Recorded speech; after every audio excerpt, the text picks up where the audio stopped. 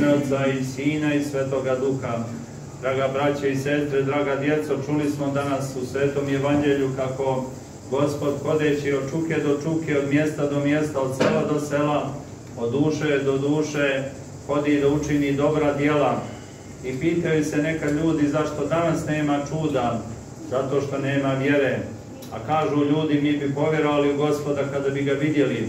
Evo, oni koji su vidjeli gospoda, a jedan dio njih nije povjerovao u njega, u njegovo čudo, a život je patnja, muka i bol.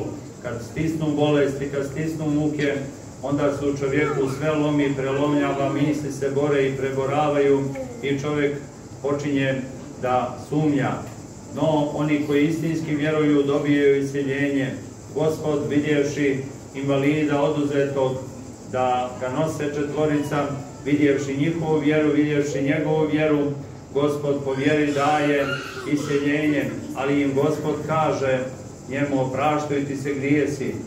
A fariseji i književnici ne rekoše naglas, nego samo pomišljaku u srcima svojim ko je ovaj gdje grijehe oprašta, a Gospod ih ukorijeva i kaže zašto tako pomišljate u srcima svojim, jer srce je korijen ljudskog bića, iz njega izlaze, kako kaže sveto pismo, i dobre misli, ali i zle misli, preljubočinstva i sve druge strasti koje čovjek ima, prvo dolaze od srca.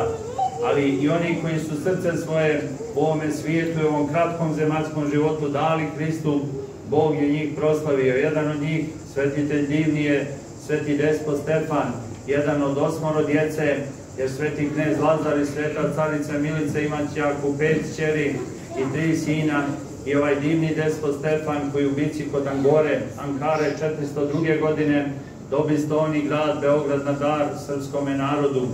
Divni pjesnik, divan i dušom i tijelom, ovaj divni svetitelj podiže manastir Manasiju, Resavu gdje njegove mošti počivaju i gdje se mnoga čuda dešavaju kroz vijekove i divni manastir Kalinić od velike drenove odakle po rijeku našeg blaženog spomena Patrijak Srpski German, divni krajevi, divan manastir, tamo manastir Kalinić, a njegova sveta majka, carica Milica, udovica posle kosovskog boja, sa kosovskim udovicama ne klonu duhom, nego se zamanaši i dobi ime Evgenija u manastiru Ljubostinji, da se u njoj poje liturgija kako ovog, tako i onoga svijeta, divna Bogu zadužbina, najljepša pjesma ispjevana Bogu na srpskom jeziku, kako kaže sveti vladika Nikolaje, manastir divni Ljubostinja.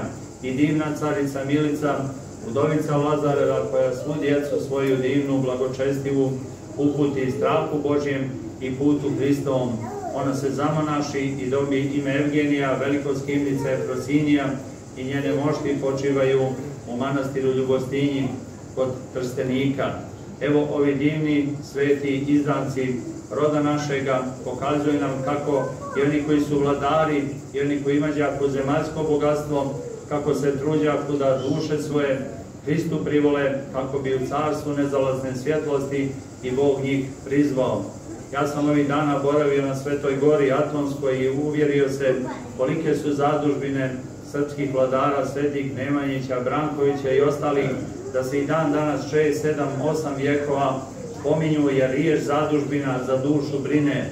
Naravno, ne možemo svi podići crkvu, ali gledajmo da pomognemo bližnjemu svome, gledajmo da učinimo dosta dobrih dijela, da to bude naša zadužbina i zalog duši našoj na strašnom sudu Hristovom, da pored naših grijekova imamo i mnoštvo dobrih dijela. Neka bi nas Gospod svetog despota Stefana Lazarevića i divne mu majke svete, Milice Udovice Kosovske, neka bi nas njihovim molitvama i on uputio da ne klonemo da i posle kosovskog pogroma i stradanja da se e, kroz zidanje Božih hramova i uvođenje Bogu i mi upodobimo gospodu kome neka je slava i hvala vijek vijekova.